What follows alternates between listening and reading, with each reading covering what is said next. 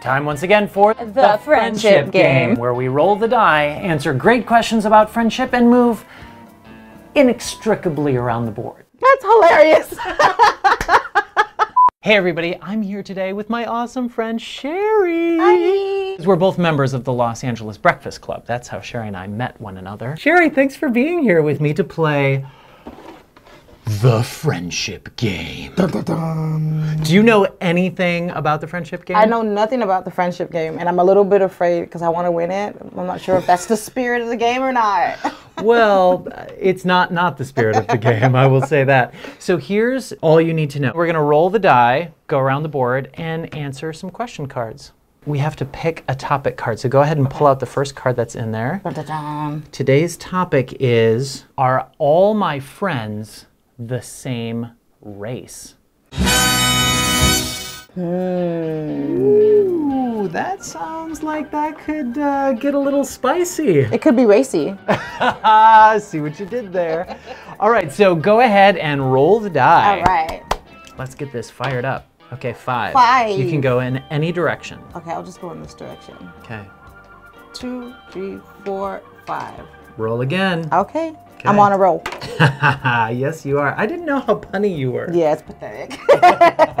and I can't stop it. Okay. Because I think I'm Rodney Dangerfield. Oh, do you? Yeah. I will keep that in mind. Mm-hmm. All right, you just don't get enough respect, do you? none. Mm, okay. None. All right, so go ahead and draw a card.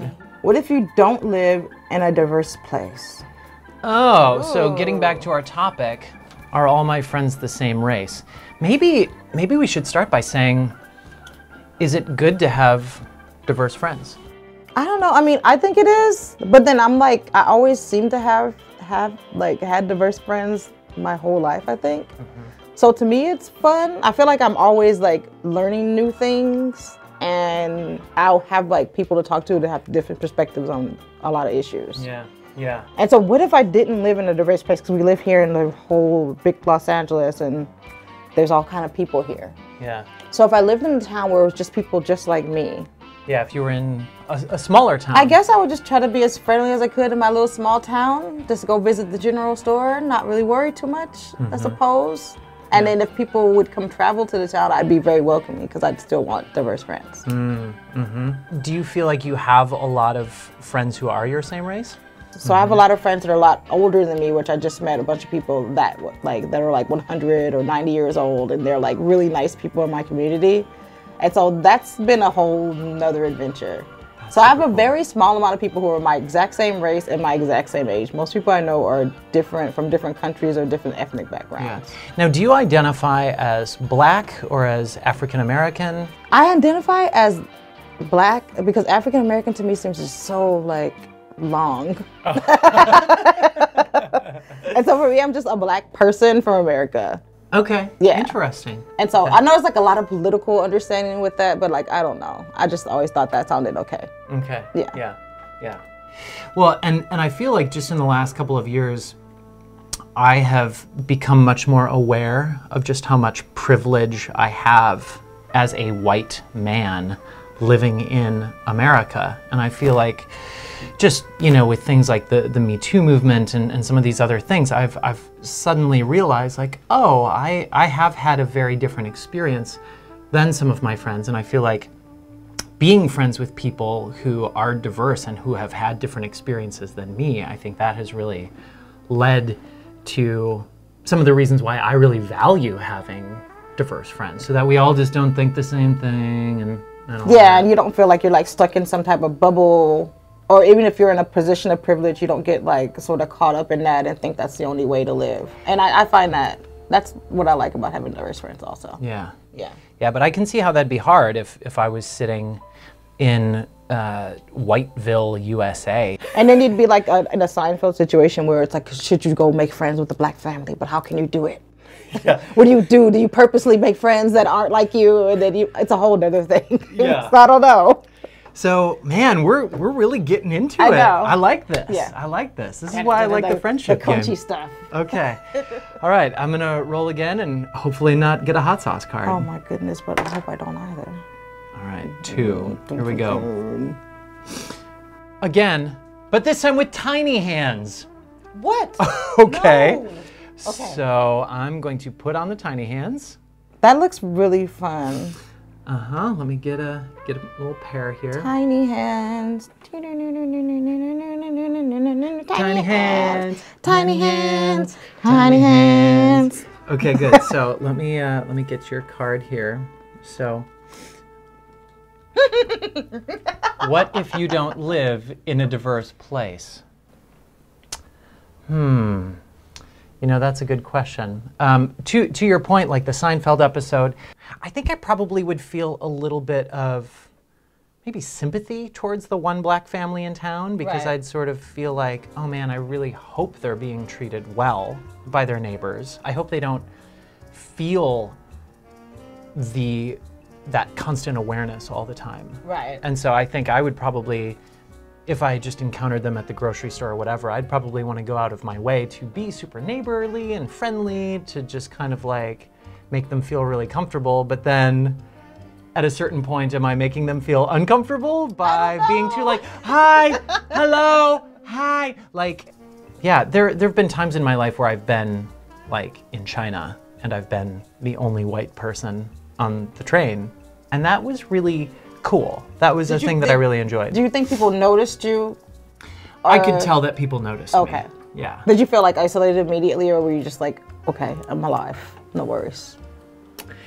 I think because I'm a white man, I felt okay. Okay, because you weren't even, because you don't even think about it. Well, I, I just I noticed that I was the only one like me there, but I didn't feel like I was in danger. I didn't feel at risk. I didn't feel anybody like giving me dangerous eyes or anything like that. I think it was just more like, oh my gosh, what a novelty. There's a white person here. Right. Like I, I was really feeling that. So in a weird way, I almost sort of felt like it, like a celebrity. Sort of like if Al Pacino rode the train, even if everybody was trying to play it cool, they'd all still be like, so that's that's really kind of what the experience was. That's actually a very good diversity experience. Yeah. Have have you ever had experiences where you have felt isolated as a woman of color? Goodness, I think so, but I'm not really sure. Like, I felt like like once I did this program, which is um, it's like AmeriCorps, which is the Peace Yeah, Corps, but we stay in AmeriCorps. America. And part of it was we had to go and do some community service hours at a charter school, and it Mm-hmm. was like in a low income area that was like non diverse. Like the whole school was mostly black people. And then our group was a very diverse group. It was sort of strange to me because I felt like a lot of the people in our program didn't know how to talk to the children at this particular school. yeah, it was kind of like they were like, maybe you should do more talking to the black people because you're a black person, so they understand you better. But it wasn't really like that. And I kept trying to tell everyone that it was like they understood all of us because they're children and we're like the adults. Right. Maybe when that happened, I hadn't even processed this thought. So I wasn't able to ask anyone. And so I never really, like, I don't really know the conclusion of that feeling, but that was an experience that I had. I grew up feeling very much socioeconomic differences. Yes. So, for example, I grew up going to a very diverse church in a very, like, kind of impoverished part of town. And so, like, I didn't necessarily, as a kid, feel like, oh my gosh, that kid is black, and that kid is white, and that kid is Hispanic. What I really felt was like, oh man, his clothes are dirty and he smells bad. And that's not true about these kids over here. That was where I was sort of really feeling the difference. Right. That makes sense. I have that a lot too, especially growing up where like I lived in an area where we sort of had like a little bit of money, but the area wasn't a little bit of money. I, I remember being afraid of people whose cars like had smog issues. Oh, yeah. And like I was like, was I so privileged that I was afraid of people who were in poverty or something? Like I don't even know what that is. I went to um Go on. what do you call it? Um, not bilingual, dual lingual school, where it was like Spanish Duolingual. and English, and most of the people in the school were like from Mexico, and so I learned speaking Spanish, English to like learn elementary like grade studies. Oh, okay. But then at one point, like my parents took me out of that school, and I went to another school because of like the Girl Scouts, and they wanted me in this Girl Scout troop at this other school, and this school had mostly black children. But I missed like how diverse my school was because we had like a lot of different art programs, and I knew all these songs that were in another language, and I, so I felt like ah. really weird all the time because I was like, I don't know what to do. And then also economically, everyone was sort of different, so I was kind of like a weirdo person because I was just, I don't know. Like, my parents were artists, so they just dressed me weird on Halloween. I'd have a full costume on, and they didn't really have a costume parade at this school, but I was still dressed like the Wicked Witch from like Wizard of Oz. Okay. And right so on. that was, um, I think I helped me understand diversity really quickly because I knew I felt different from people who looked just like me. So I knew that it wasn't like race must be a lot more than just what people look like. Yeah. And so that was an interesting experiment Well, I life. I don't know. All right. Well, that was that was quite the turn I took there. All right. Well, I think it's your turn to roll again. okay, yay, roll a dice. Oh, but I got the same number. Funny.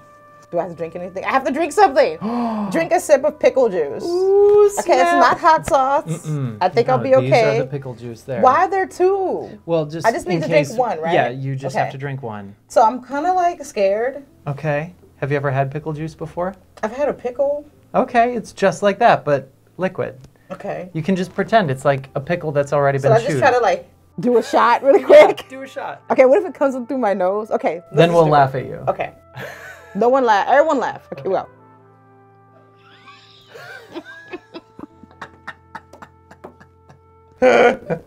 It's just like a pickle, right? No, it's not. oh my god. How was that? That's hilarious.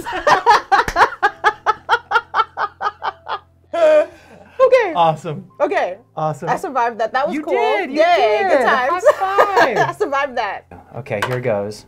Two. Let's see. One. I don't even know if. I moved. I don't even. Th- oh no, I had. It's because the card told me to do something. Okay. Right. Is it worth it, even if it seems hard? So, getting back to this idea of having diverse friends, is it worth it, even if it seems hard? Yeah, I think it is. I can I can imagine how.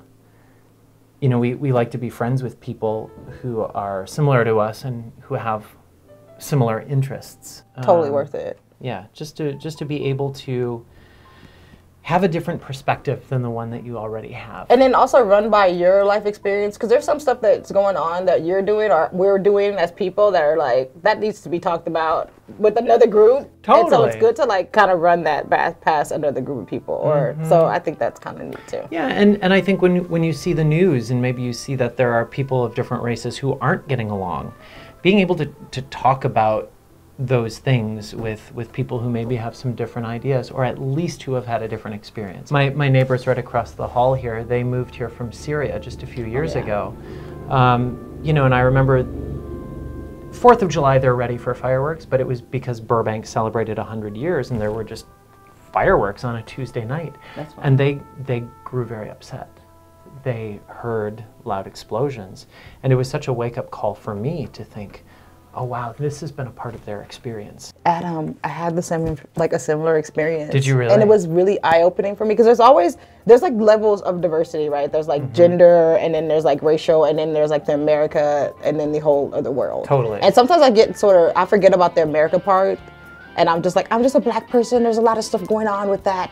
and I'm like, Right. that's enough. But then I forget like American privilege, which we all have. And like a lot of people talk about the different privileges, but we never talk about just the plain American privileges. Like nothing really scary like that happens here, you know?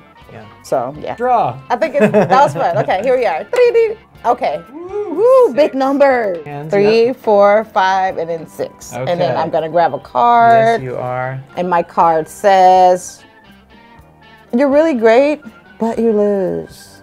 Oh no. Okay, you, you lost the game and you wanted to win so bad. I forgot about winning halfway through the game though, and I think that's the best part.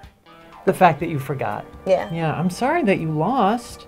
Well, um, I, I haven't officially won yet either. I mean, it's still possible that I will lose. Let's see. Let's see what happens next. Yeah, it's not as much fun without you. I'm just I really want to put tiny hands on still. Same question. Wait, what? Same question. You're really great, but you lose. Well, well, is- golly, we both lost. Is this is a bit existential here. game won the game, The game won the game. but So- we have diverse friends, so we win. We definitely do. So, so let's put on some uh, some- Tiny some- hands. Some, tiny hands.